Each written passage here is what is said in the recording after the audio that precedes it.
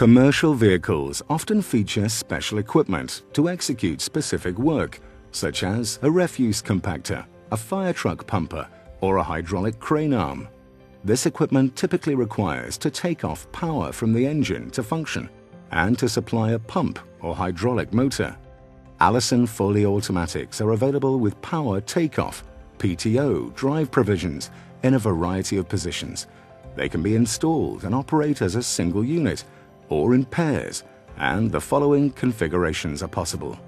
Side-side PTO option has PTO pads at approximately 4 o'clock and 8 o'clock, viewed from the rear of the transmission.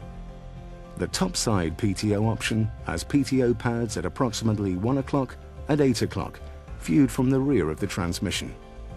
This principle of operation means that the power takeoff has the following values.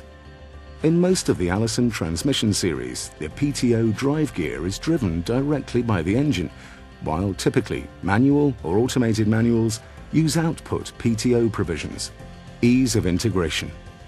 While manual and automated manuals require dedicated interface with the vehicle pneumatic system, an Allison PTO engages directly via Allison transmission fluid pressure. The Allison Transmission Control Module, or TCM, controls all basic PTO functions. Power takeoff. Since the PTO drive gear is constantly driven by the engine, the Allison can provide continuous and higher power takeoff ratings than is possible with manual or automated manual gearboxes. Two PTOs can be used simultaneously.